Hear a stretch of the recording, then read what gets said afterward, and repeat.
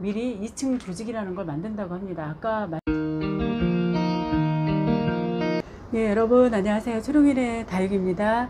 예, 요즘 날씨가 굉장히 덥습니다.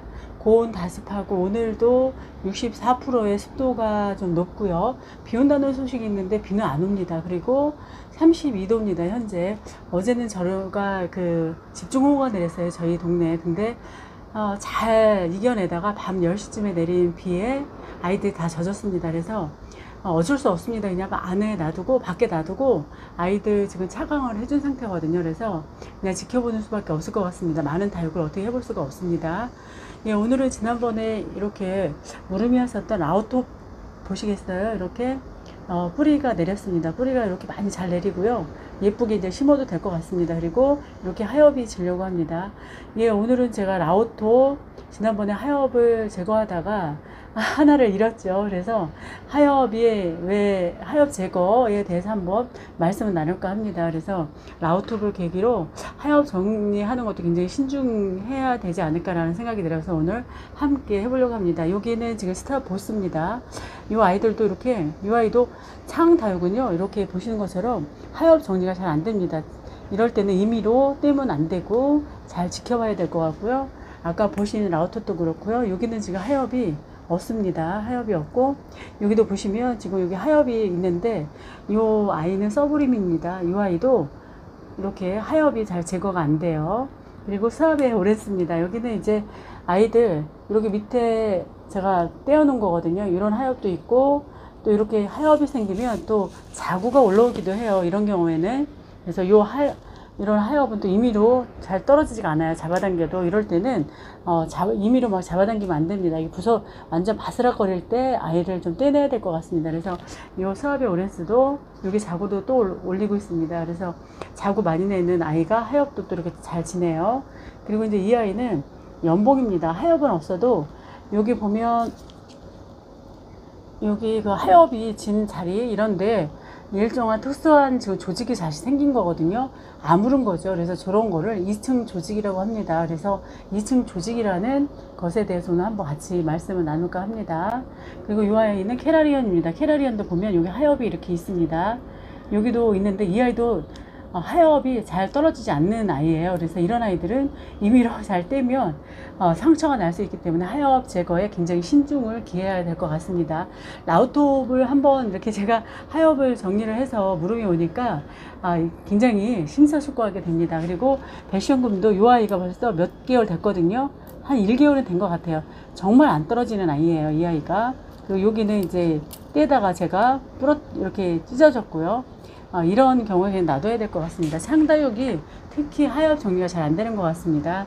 예, 레드콘도 오랜만에 봤더니요. 다른 건 이상 없고 비를 맞았거든요. 근데 이상이 없어서 이 아이 그냥 그대로 이제 서서히 하엽 지도로 내버려 두고요. 이 아이는 바로 아톰 스타라는 아이입니다. 이 아이는 이렇게 하엽이 지금 밑에 있어요. 그런데 이 아이는 이렇게 떨어집니다. 이렇게 떨어질 때 하엽 제거하는 게 옳은 것 같습니다. 왜 제가 이렇게 오늘 하엽 얘기를 많이 할까요? 바로 우리가 요 아이 물어봤을 때 하엽을 제가 마구잡이로 떼어줬거든요. 그래서 거기에 상처난 부위로 곰팡이 균이든 아, 세균이든 둘 중에 하나가 들어가지 않았을까라는 생각이 듭니다. 그래, 어, 그래서 오늘 하엽 얘기를 하려고 합니다. 특히 이제 고온다습한 요즘 같은 장마철에 하엽은 곰팡이의 온상이 되기 때문에 떼어줘야 된다라는 생각을 하고 있죠. 그래서 예, 우리는 다육을 관리할 때 요즘 같은 어, 특히 장마철에 묵은 잎을 다 떼어주는 경우가 많습니다. 그 찾아서 떼어주기도 하죠. 그런데 정말 하엽을 다 떼어주는 게 맞을까라는 생각을 한번 하게 됩니다. 어, 우리가 하엽을 그 특히 이제 다육 생활 하면서 떼어주는 이유가 바로 어, 고온 다습한 장마철에 곰팡이의 온상이 되기 때문에 잘못하면 아이들 무릎이 올 수 있다 그래서 떼어주죠. 두 번째는 하엽이 지나치게 많으면 통풍이 중요한 이 다육들한테 바람기를 만들어 줘야 되는데 그렇지 않으면 또 무릎이 올 수 있다라고 생각해서 저희가 어, 하엽을 정리를 해줍니다. 그런데 하엽이 많은데도 불구하고 무릎이 오지 않는 다육이 있고 또 하엽을 떼어줬는데도 무릎이 와서 힘든 다육이 있습니다 여러 가지 이유도 있죠. 사실은 이제 어 제가 키운 아웃톱 같은 경우는 무리한 하엽 제거 때문에 어, 이렇게 물음이 왔던 거라고 제가 추측을 하거든요. 근데 이제 일반 식물을 아, 예를 들면요. 식물들은 굉장히 독립 채산자라고 합니다. 이 아이들도 마찬가지죠. 그래서 운영한다고 합니다. 자기들 몸을 보호하기 위해서 불필요한 가지라든지 잎은 가차없이 잘라버리는 특성이 있는 게 바로 식물들의 세계라고 합니다. 그런데 식물이 불필요한 부분을 잘라버리기 위해서는 어, 무조건 잘라버리는 게 아니고요. 미리 2층 조직이라는 걸 만든다고 합니다. 아까 말씀드린 것처럼 보실까요? 지금 여기에 음, 하엽이 이렇게 보시면 요 하엽을 완전히 말리기 전에 여기 떨어진 자리에 다른 곰팡이나 세균이 들어오면 안 되니까 미리 이제 특수한 조직인 2층 조직이라는 걸 만들어서 그 곰팡이나 세균이 침입할 수 없도록 만들고 이 하엽이 떨구도록 자연적으로 그렇게 만든다고 합니다. 그 자기 생존 본능을 위해서 그렇게 한다고 하는 거죠. 이 라우터도 하엽을 마구잡이로 떼어냈기 때문에 2층 조직이 생성되기도 전에 보호막을 역할을 할 수 있는 그런 특수한 조직이 생기기 전에 하엽을 떼어줬기 때문에 어, 비기를 맞췄고 환경을 그렇게 만들어줬죠. 그래서 어, 흙 속에 있는 곰팡이 포자가 들어갔거나 또 그 다육을 좋아하는 세균이 어, 그 상처를 통해서 들어갔다는 생각이 들기 때문입니다. 그래서 우리가 이렇게 하엽을 제거해 줄 때 바스락거리는 지금 이 아이도 준비가 안 된 상태거든요. 그러니까 특수한 조직이 2층 조직이 아직 만들어지지 않은 거예요. 그래서 이 약간 지금도 아직은 영, 양분이 얘한테 가고 있는 중이죠. 서서히 이제 2층 조직이 만들어지면 더 이상 불필요한 양분을 얘한테 뺏기지 않고 얘는 떨구고 자연적으로 이제 이 생명체에서 떨어져 나갈 겁니다. 근데 이제 제 경우에 이런 라우토뿐만 아니라 다른 다육들한테도요 2층 조직이 만들어줄 시간을 기다려 줘야 되는데 하엽이 완전히 다육 몸체에서 분리되기도 전에 제가 잡아당겨서 세균에 감염이 된 게 아닌가 생각이 들기 때문에 여러분들도 어, 저만 그런가요? 저도 임의로 어거지로 떼지 않으려고 합니다. 그런 것도 자꾸 이제 이렇게 다육 생활을 하고 경험을 통해서 얻게 되는 지식입니다. 그리고 이제 우리가 하엽을 정리하다 보면 어, 검게 켜켜이 쌓여 있는 걸 볼 수 있어요. 아까 보시면 어, 이 아이도 사실은 그렇게 하엽이 많으면 어, 큰일 나야 되거든요. 근데 이렇게 분해를 하는 부호균이라는 게 있다고 합니다. 그리고 곰팡이가 또 이 떨어진 하엽을 또 어, 분해시켜서 일부는 다시 다육한테 돌려보내고 일반 식물도 마찬가지죠. 어, 다시 자연으로 돌려보낸다고 합니다. 즉 그 잎에는 칼슘이라든가 철은요. 어, 스스로 이렇게 이동할 수가 없다 그래요. 그래서 그렇게 이제 곰팡이야, 곰팡이, 박테리아, 부후균이라는 분해할 수 있는 그런 대상자들이 분해를 통하면 요게 분해된 게 다시 요 다육이가 흡수를 시킨다고 합니다. 하지만 이제 우리가 양분이 어, 한정돼 있죠. 이렇게 여기는 조그만 하부되는 그래서 1년에 한 번씩 분갈이를 통해서 양분을 다시 교체해 주는 경우도 있긴 합니다. 식물이 그렇다고 하니까 여기도 분명히 어, 이 식물에도 특히 다육에도 양분이 들어있는 이 부패된 잎에도 있지 않을까라는 생각이 듭니다. 같은 식물이니까요. 아, 우리가 이렇게 오늘 하엽에 대해서 말을 해봤습니다. 예, 하엽 정리하는 거, 그러니까 결론적으로는 그겁니다. 어, 자연적으로 떨어질 때까지 기다리자. 바스락거릴 때 정리를 해주자는 거고요.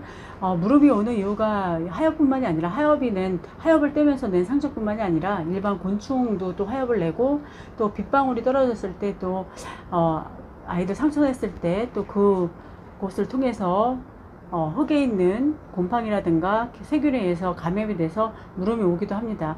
가장 중요한 건 비를 맞아서 아이들 물음이 오는 게 아니고 이 아이 어제 흠뻑 맞았거든요. 이 아이도 맞았고 어, 상처가 나지 않으면 이 아이들한테 오지 않을 거라고 생각이 들고 어, 관리가 중요한 것 같습니다. 만약에 비를 맞히고 아이들 상처가 없다면 구태여 거리대에서 들여올 필요는 없다고 생각이 듭니다. 저는 제 개인적인 생각입니다. 되도록이면 맞히지 않는 게 현명한 것 같긴 합니다. 일부는 반투명해서 물음이 오기도 하거든요. 그래서 그런 아이들의 입장을 떼어주기도 하긴 하죠. 그래서 오늘 하엽에 대한 말씀을 나눴고요. 아이들 하나하나 한번 볼까요? 이 아이는 어, 서브림이라고 합니다. 이 아이 2,000원 주고 사왔던 아이인데 굉장히 예쁩니다. 이 아이는 바로 어, 이렇게 분이 발려 있어서 굉장히 예쁘게 잘 성장을 하고요. 아까 사업의 오렌스는 언어 많이 보여드렸고 이 아이는 이제 하엽이 생기는 이유가 자구 번식도 하고 자구 번식을 굉장히 잘합니다. 그래서 건강하게 잘했습니다. 이 아이도 어, 이렇게 분을 갖고 있는 아주 매력적인 아이입니다. 그리고 이제 양로 같은 경우도 여기 보시면 바로 2층 조직을 볼까요? 이런 게 2층 조직입니다, 여러분. 잎이 떨어진 자리거든요. 그러면 특수한 조직인 2층 조직을 만들어서 여기를 아물게 한 다음에 여기에 잎든 자연적으로 떨어뜨려서 더 이상 양분 손실을 받고 아이들이 자기들 생명을 이제 이렇게 부지하는 것 같습니다. 부지하는 거죠. 예, 그리고 이제 여기는 어, 스타보스입니다. 스타보스 여기 보시겠어요? 여기도 하엽이 이렇게 많은데 이 아이도 그냥 바스락거리고 스스로 어, 자기들이 몸체에서 스스로 그냥 소멸할 때까지 기다리는 게 옳은 것 같습니다. 절대 안 떨어져요, 이 아이. 예, 그래서 일부러 임의로 막 잡아다니지 않습니다. 그리고 아까 요 아톰스타 같은 경우는 한번 볼까요? 이런 경우는 또 잘 떨어집니다. 여기 보면 이렇게 한번 볼까요? 가까이. 잘 떨어지죠, 여러분. 요것도 이제 불필요하다고 생각해서 이 아톰스타가 이제 아, 2층 조직을 만들어서 떨어뜨리는 거라고 볼 수 있는 거죠. 이 아이도 이렇게 떨어집니다. 그래서 요러 이제 이렇게 자연적으로 바로 똑똑 떨어질 때 힘주지 않고 그냥 떨어질 때 아이들 제거하는 게 옳은 것 같습니다. 사실은 이제 이런 아이도 전부 아까 그 부육 어, 균이 있고 곰팡이가 전부 다 분해를 하기 때문에 해주지 않아도 이 아이가 여기서 어, 일종의 다육의 또 양분으로 다시 재흡수될 수 있는 여지를 주는 것도 어, 식물 세계에서 있다고 하니까 또 그런 상식도 알면 좋을 것 같습니다. 어, 예, 아까 레드컨은 그대로 놔두고요. 배시험금도 아주 깔끔하게 잘 자라고 있습니다. 예, 오늘은 하엽 제거에 대한 이야기를 여러분과 말씀을 나눴습니다. 이미료 때문에 안 좋다. 그래서 아이들 다 바스락 거릴 때 이렇게 그냥 바로 똑 떨어질 때 제거를 해주는 게 옳은 것 같습니다. 예, 오늘은 하엽에 대한 이야기 물음과 연관해서 어, 예, 여러분과 함께 말씀을 나눴습니다. 여러분, 예, 감사합니다. 안녕히 계세요.